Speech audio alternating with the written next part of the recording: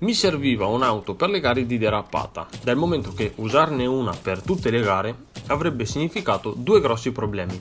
Primo, bisognerebbe montare e smontare ogni singola volta gomme, sospensioni e differenziali, oltre che rivedere di volta in volta il setup generale dell'auto. Secondo, si andrebbe a snaturare il gioco stesso, che consente di avere più di un'auto proprio per adattare ognuna alle differenti tipologie di competizione. Mi era balinata quest'idea malsana di prendere il Range Rover Sport e adattarlo al drift. Il popolo sovrano dei miei follower, però, tramite le Instagram Stories, si è espresso a favore della Mazda RX7. Non è un'auto che mi entusiasma, tuttavia i sondaggi vanno rispettati, dunque vi lascio il timelapse della sua completa trasformazione da stock a Swai Drift Edition. Buona visione!